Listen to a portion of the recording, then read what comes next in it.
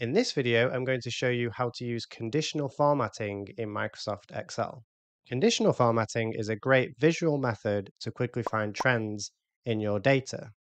And in this video, I'm going to show you five different ways how you can apply this in Excel. So let's jump into Excel and I'll show you the data set. So this data set is Star Wars themed. We have different characters down here in the different rows. Um, and then we have different columns for some of the different characteristics of those characters. In this case, we've got age, lightsaber color, midichlorian count, training hours, and battles fought.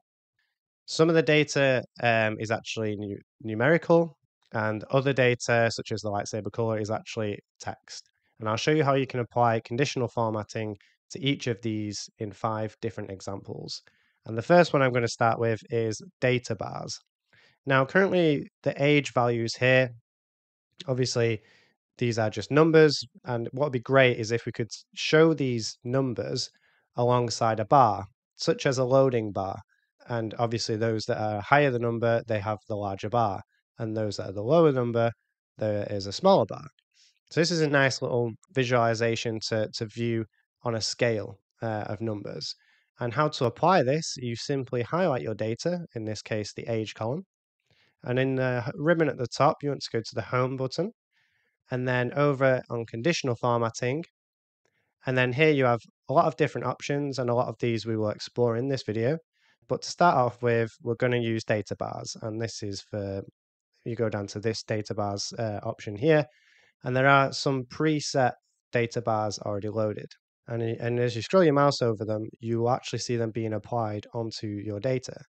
Now you'll see what I mentioned earlier in the sense that these data bars apply a color shading onto your cells.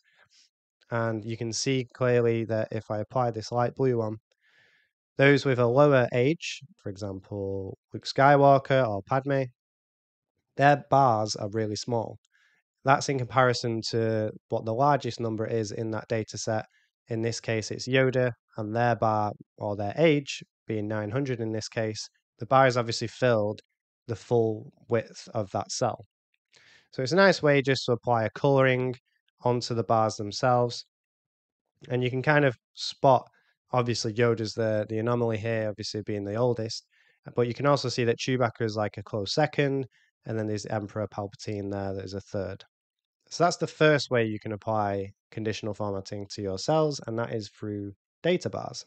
And if I wanted to, I can change the color of these if I wanted by going back to conditional formatting and then going to manage rules. And you can see that the rule manager pops up and the data bars has been highlighted and it's showing you what the color is and what cells this is being applied to. So if I go to edit rule,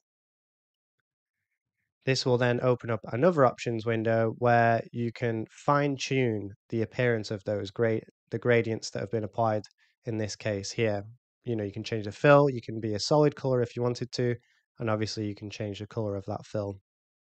Let's say orange, um, and uh, you know, you can apply a border if you wanted to, and then click OK, and then OK again. And now we have orange bars instead of a faded gradient bar. Let's now move on to something a little bit different now, and this is color coding based on text values. So if you look at the lightsaber color column I have here in the, the column C, you can see that it's all text-based here and that we've got values that range from green, red, nothing, green, blue, etc., etc. Now for this example, what I want to do is apply conditional formatting to highlight the color of the text that corresponds to that color. So I want the green uh, values to be in green uh, and the red ones to be in red, etc. So the way we go about doing this uh, within Excel is, again, you want to highlight your data, go to the conditional formatting at the top ribbon. You then have to go to New Rule. And here there's a lot of things that you could do, but what we want to do in this instance is only format cells that contain something. And what we want to do is actually change the cell value drop down here to be a specific text in this case. And for this one, we want it to be containing. What I have to do here is do this for one color at a time. So I'm going to start off with green. So in this case, I want to say green. And then what I want to do is format what this cell contains if it contains the, um, the text green. How does that appear? So I then click on the format button. And in this window, I can actually fine tune what I want the cell to look like. And I can change the font, the border, and the fill. But for this instance, I'm just going to change the font.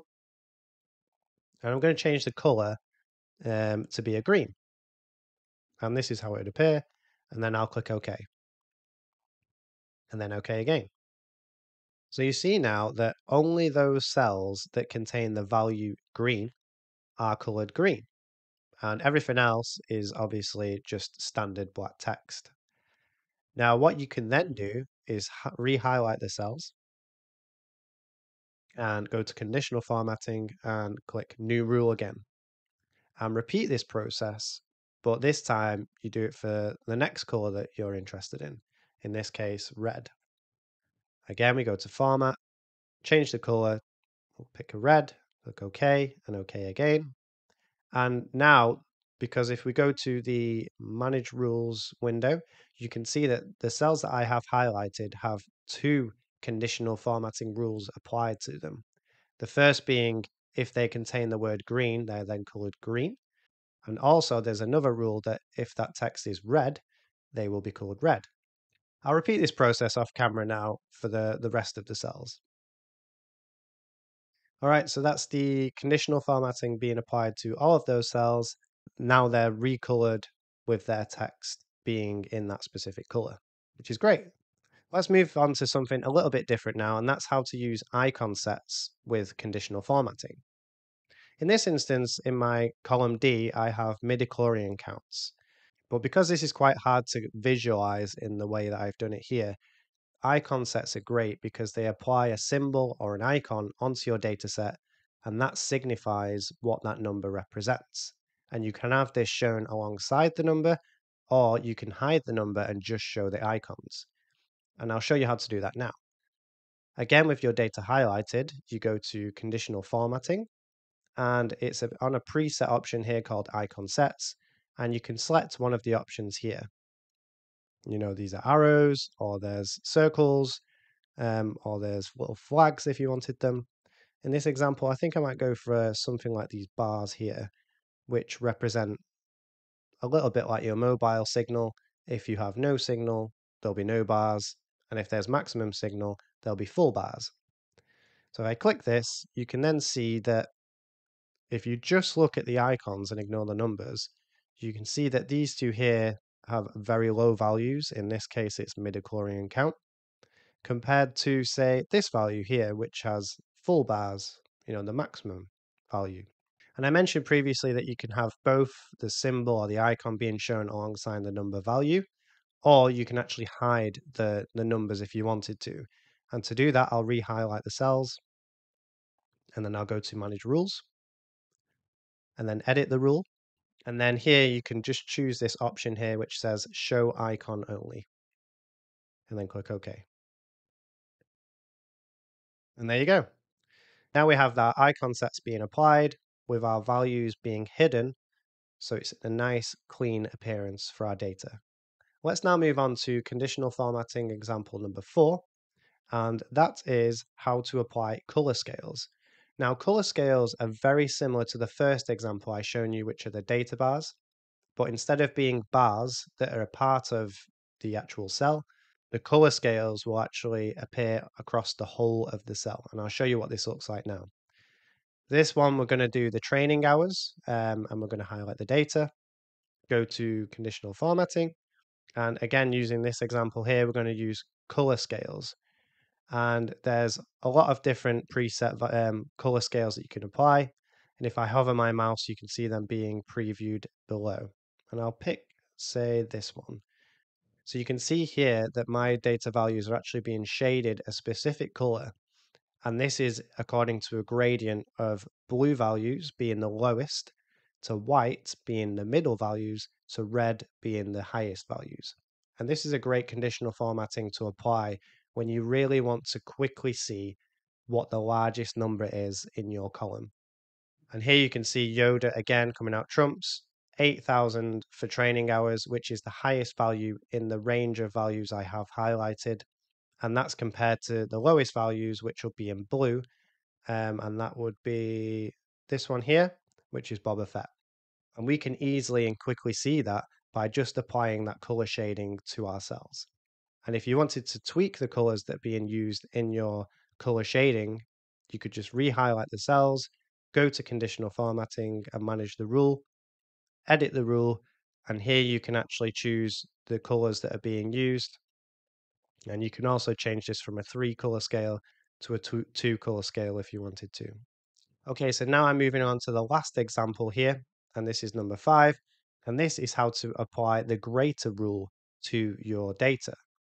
And the way this works is that you tell Excel, I want to highlight any cells that are greater than a certain value. And also you can do a lower than a certain value.